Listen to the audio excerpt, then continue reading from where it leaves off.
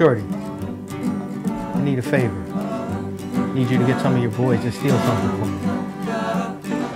There's a wolf on the back porch. He's screaming, take your skin off. I never been in so much pain. I never been in so much pain. He says my love is a black dog. He's never seen one of them, but I saw one flying once and told through the night like a lion. Now I know what I know, and I know I'm worth every dollar, every cent that God ever spent on a human on rent. If I'm gonna die, I'm gonna live till then. I'm gonna live till then. My heart is a big, my heart, my, my heart is a big, my heart, my heart is a big, my heart, my,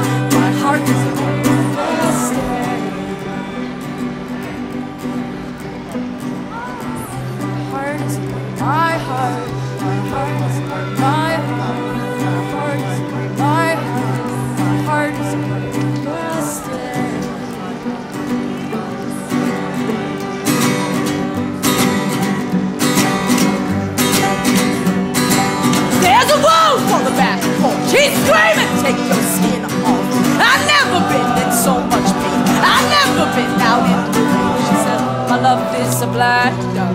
She never seen one of them, but I saw one flying once and tore through the night like a lion.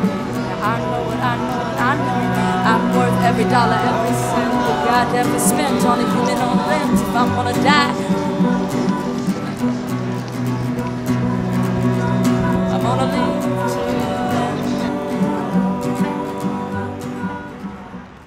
Do you know a dude named Lamont? Lamont B. Steptoe and the White Rabbit Press. Yeah, sure. He, uh, he ran that press back in the 80s. Stein, Stern, Steptoe. Here we are. Uncle South China Sea Blue Nightmare, Oracular Rumbles, and Stilt Walking. You know, I think you should talk to the poets that he published. Back in the 80s, huh? A lot of them were Lower East Side poets, and you know what that means. Hmm. They're still here on the Lower East Side. You know of a dude named Lamont B. Steptoe? Yeah, I know that bastard. He published a book of mine and he never paid me. You know where I could find him? He used to keep a stash of his books in the basement at St. Mark's Church. Yeah, that's all I got. Lamont Steptoe, he believed in me. He published uh, my first book, and he promised to publish my next one. Yo, do you know how I could talk to him? No, uh, Lamont don't really roll like that. He doesn't want anybody to blow up his spot. All right, can you get a message to him for me? Yeah, I could do that for a fellow bike messenger. All right, let him know that Jon Sands will be at St. Mark's Church later today. Okay, no problem. You got Yeah, thanks, bro. Yeah.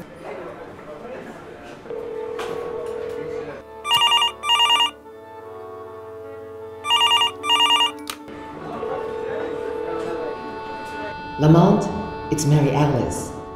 I do remember one thing. When Claire crashed with me on Roosevelt Island, when she got in a fight with her lover on the tram one night, we have a chance to set things right by Claire. Well, her poems have a chance to live even if she didn't. Yeah, Lamont. I need to talk to you. Don't dick me around, all right? Give me a call.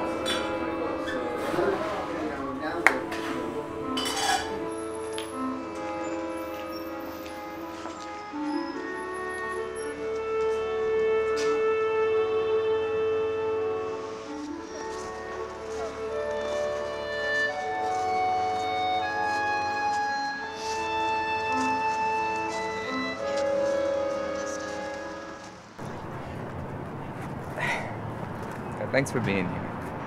Oh, you mean here like this graveyard? or here like getting robbed with you in a parade? or Like- here like... Like, like here. No, I don't. I came to finish what Claire started. What does that mean? What does that even mean? Yo, that's it? You know who did it, and that's it?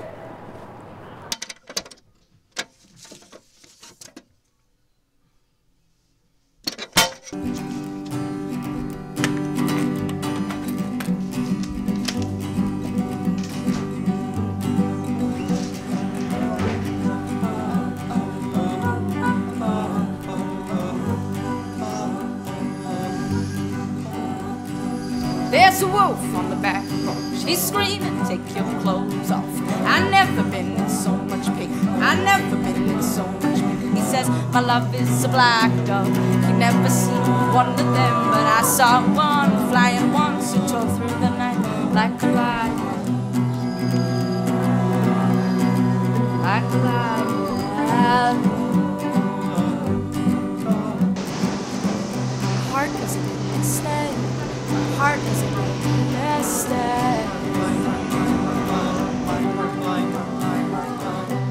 Heart is a bit, my heart, my, my heart is a bit instead.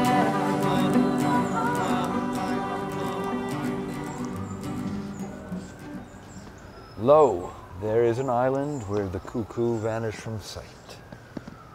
I see you still know your Basho. Why you drag me all the way out here, Lamont?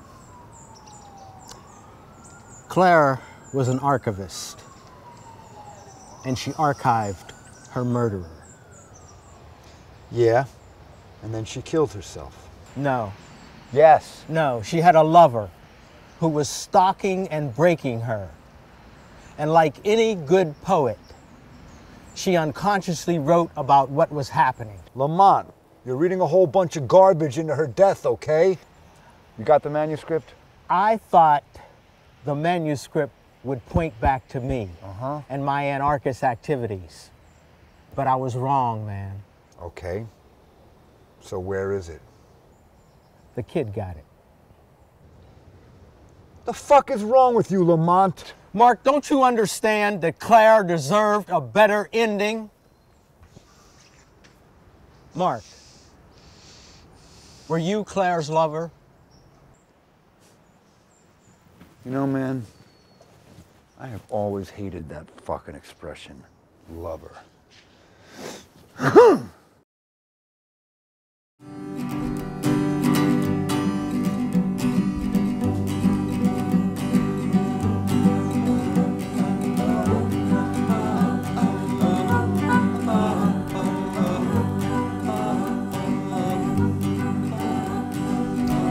wolf on the back porch. He's screaming, take your clothes off. I've never been so